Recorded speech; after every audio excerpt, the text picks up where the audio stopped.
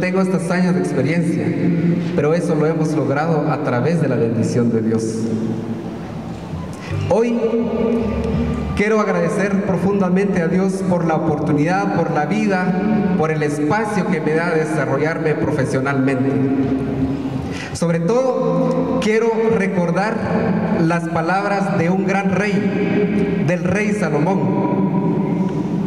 En su oportunidad dijo, Dios, en su sueño, Dios le dice, pida lo que quiera y yo te lo voy a conceder. Él humildemente dijo, Señor, yo soy muy joven para guiar a tu pueblo y este pueblo tan grande.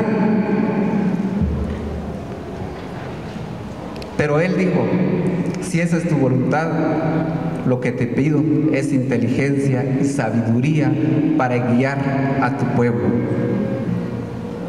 Viene Dios y dice, te voy a ayudar con lo que pediste y te voy a ayudar con lo que no pediste.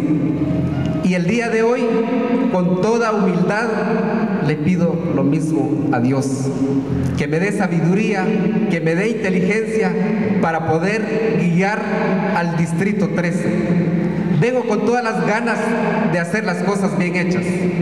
Yo sé que es una responsabilidad, sé que es un compromiso, sé que es un reto, pero vengo con todas las ganas, como se dice, vengo con los costales llenos de visiones para poder marcar la diferencia.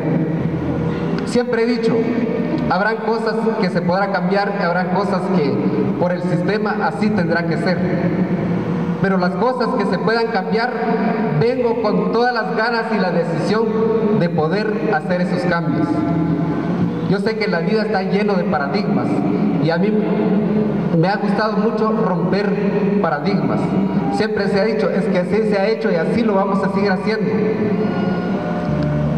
Yo creo que habrán algunas cosas que se tendrán que cambiar por bien de la educación de nuestro municipio. Y creo que hoy la historia nos da la oportunidad de sembrar este granito de maíz. Yo siempre traigo este ejemplo en las oportunidades que tengo, el, ejemplo clásico del señor que siembra aguacate. Pasan unos jóvenes, ven un señor sembrando un aguacate de eh, el señor de ochenta y tantos años de edad y vienen los jóvenes, empiezan a reírse y le dicen, ¿por qué está sembrando el aguacate? Si el, aguacate tarda no sé cuántos años para que dé el fruto. ¿Y cuántos años más tiene usted? Ni siquiera va a cosechar lo que está sembrando. Viene el anciano con esa sabiduría y le dice, no, yo estoy sembrando no para mí. Lo que sembraron mis papás, mis abuelos, yo lo coseché.